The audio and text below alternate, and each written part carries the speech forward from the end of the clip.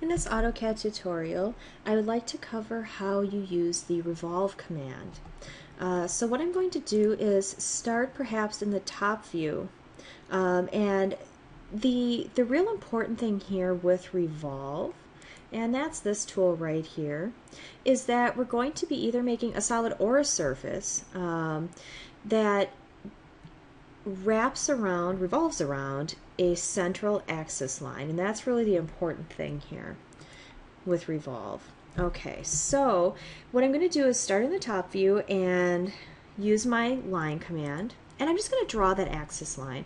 You actually don't have to draw it physically, but I think it's really helpful, especially when you're first starting using the tool. So I'm just going to click and make a straight vertical line on my top view that's maybe 36 inches long. Okay, so just have a 36 inch long line, and right now it's laying, you know, flat on the ground, if you will. I could be drawing this in a different orientation if I wanted standing up or something, but for right now, that'll do. So that's going to be my axis line that I, I revolve around. Now I could draw, you know, basically any any shape that I was interested in here. So I'm just going to pan over a little bit.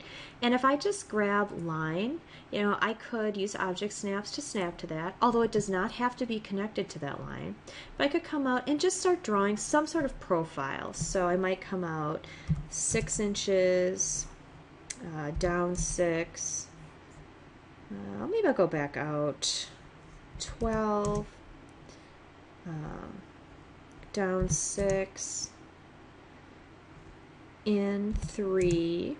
You know, and you can just make whatever type of shape you want. I'll come uh, down 12, in six, down six, back in towards that axis, three. So I'm kind of just stair stepping my way down. And then I'll come down maybe four. And I could even let this come to a point. Okay, so I'm just starting, you know, to draw some basic lines in there.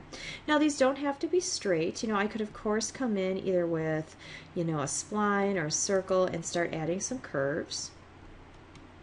You know, I could do maybe, you know, a circle here, for example, and then trim that out. I mean, you have all of these, you know, creative options, uh, you know, available to you, of course.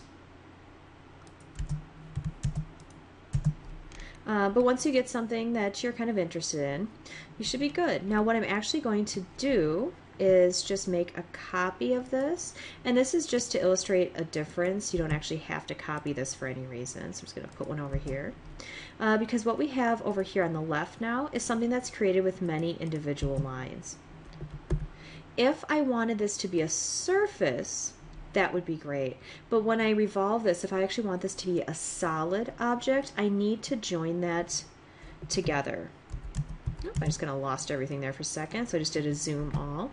Okay, so to join this all together, I can select all of this line work except the axis line. I don't need that to be part of it.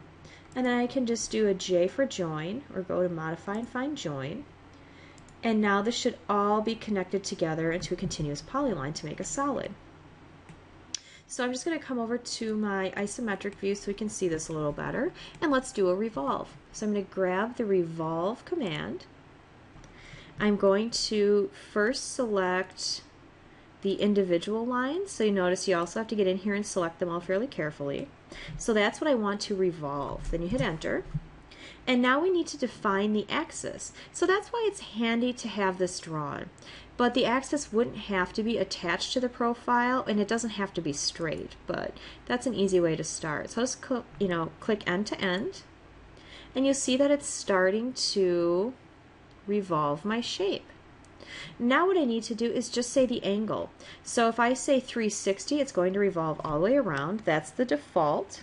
So I'll hit enter. And here we have the shape, and this is made up of surfaces. Okay, if I do the same process, revolve, select that profile, hit enter, and pick the axis on the second one, and let it be 360, that is going to be a solid, okay? And you can see that in the top view as well. So the surfaces are going to be divided up into this kind of a mesh and the solid will be much smoother in appearance in wireframe. Um, if we look at that in conceptual, for example, you know, really they're going to look about the same when you would put materials and render and that type of thing. Uh, but it depends what you're wanting to do with it. Um, if we're going to want to do any, um, you know, Boolean operations to this or anything like that. Um, but at this point, we've created some nice revolved objects that are symmetrical around that center axis line.